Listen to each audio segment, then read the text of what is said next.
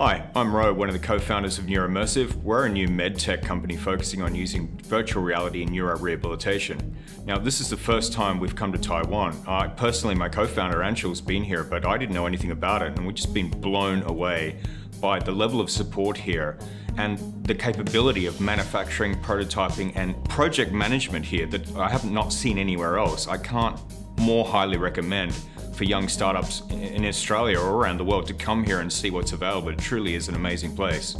So, for example, you know, if, you, are in the medtech space, the, the biggest, uh, one of the biggest challenges you've got is getting access to patient populations. Now, in, in Western countries, this is problematic. You need to go through a lengthy pro process, and it's really a long sequential process to actually get access to the people who are going to be the people who your system's going to help. In Taiwan, it was, was just so completely simple, and we were given access to one of the leading teaching hospitals here and taken actually into their rehabilitation departments, where we actually saw what was going on here. We were blown away by the scale of the population base that was using the rehabilitation facilities here. And we instantly saw, wow, uh, okay, so our product has so much more value here than what we realized being based in Australia because the numbers are so vastly different.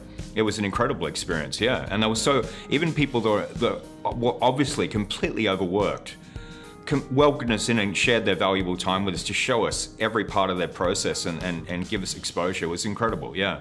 Yes, and I think that anyone is developing a product. I think you always want to have an, a native uh, release, but the fact is that you know in, in, we're living in a global economy. So the reality is we'll probably release our, we will release our product here in Taiwan before we do in Australia because the advantages are so vast here compared to Australia.